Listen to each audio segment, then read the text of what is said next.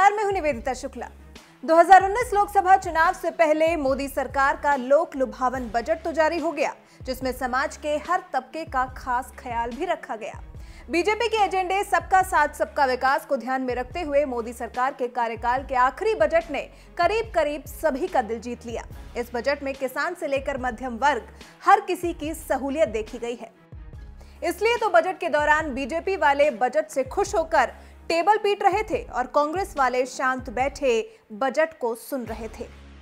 जिनका ही कहना था कि सरकार से किसान नाराज़ हैं और सरकार ने तो किसानों को तो मानो छप्पर फाड़कर ही दे दिया हो। जिसके बाद भी कांग्रेस ने बीजेपी को ट्रोल करने की कोशिश की, लेकिन अफसोस, वो अपने खोदे गड्ढे में खुद ही गिर गई।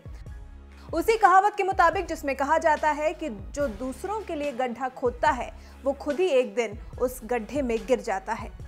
कांग्रेस के साथ भी कुछ ऐसा ही हुआ। दरअसल मोदी सरकार ने दो हेक्टेयर से कम ज़मीन वाले किसानों को हर साल सीधा उनके खाते में छह हज़ार रुपए देने का वादा किया है, जो कि 1 दिसंबर 2018 से ही लागू हो जाएगा।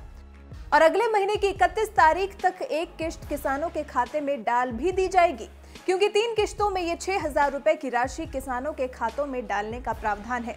सरकार के इस फैसले से करीब 12 करोड़ किसानों को लाभ मिलेगा।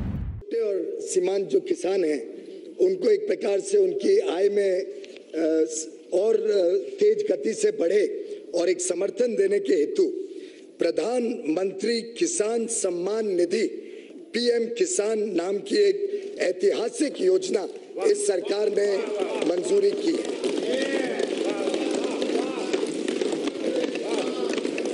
पीएम किसान इस योजना के तहत जो वल्नरेबल किसान हैं, जो छोटी ज़मीन रखते हैं, दो हेक्टेयर तक की जिनकी ज़मीन है, दो हेक्टेयर तक की ज़मीन को, उन सभी को सीधा उनके इनकम में सपोर्ट डायरेक्ट इनकम सपोर्ट छह हज़ार रुपए प्रति वर्ष के हिसाब से देने का निर्णय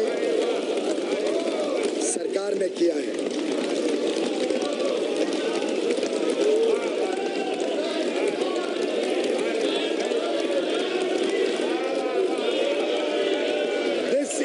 Support.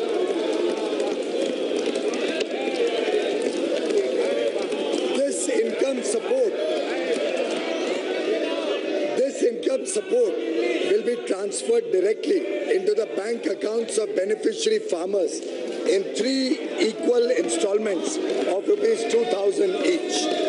This program will be funded 100% by the government of india सरकार की तरफ़ से किसानों के लिए शुरू की जाने वाली इस योजना पर कांग्रेस ने ट्विटर के ज़रिए बीजेपी सरकार को घेरने की कोशिश की। हालाँकि कांग्रेस के आधिकारिक ट्विटर हैंडल से जो ट्वीट किया गया है, वो बिल्कुल वही है जो सरकार ने बजट के ज़रिए किसानों को देने के लिए कहा है। लेकिन उसके बावजूद राशि को एक साल की बजाय एक महीने में दिखाकर कांग्रेस मुद्दे को भुनाकर इसे बीजेपी का जुमला बताने की कोशिश कर रही है। जिस ट्वीट में लिखा गया है कि किसानों से किए गए एक भी वादे पूरे न कर पाने के बाद मोदी सरकार ने अपने एक और जुमले से उनका अपमान किया है।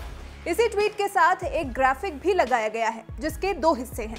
पहले हिस्से में लिखा है, लाभ छह हज़ार रुपए प्रति वर्ष दूसरे हिस्से में लिखा है, वास्तविकता एक किसान को पाँच सौ रुपए प्रति माह मिलेंगे, जो कि सही ही है।